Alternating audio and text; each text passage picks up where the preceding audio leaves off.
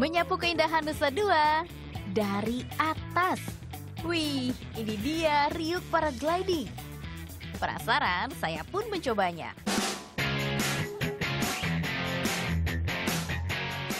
Kita diwajibkan mengisi biodata sebagai jaminan asuransi bagi pengunjung selama bermain di kawasan wisata ini.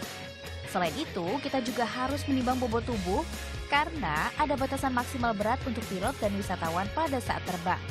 Kalau saya sih cukup ideal, jadi lolos untuk terbang. Yeay! Sebelum terbang, harness dan helm harus dipastikan terpasang. Karabiner pengikat pun harus benar-benar terkait. Satu lagi, aba-aba pilot harus diperhatikan. Jika sudah, waktunya terbang.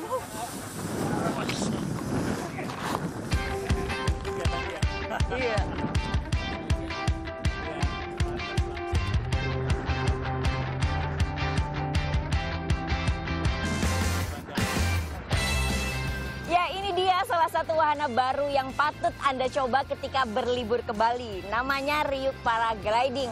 Jadi di sini kita bisa menikmati sensasi terbang dengan pilot-pilot profesional. Dan kali ini kita sudah berada di ketinggian berapa mas?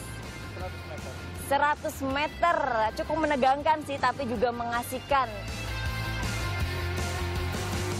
Baru dibuka beberapa bulan lalu, Ryuk Paragliding banyak menarik perhatian wisatawan. Tak hanya muda-mudi saja, orang tua pun ikut mencobanya. It was like a fly. I mean, like a like flying bird in the sky. Felt really nice. Looking down and all the shades of the sea, the view from top is awesome. Di sini, semua perlengkapan untuk paragliding yang digunakan berstandar internasional. Bahkan pilot-pilotnya pun sudah terlatih dan memiliki sertifikasi pilot paragliding. Jadi gak usah takut.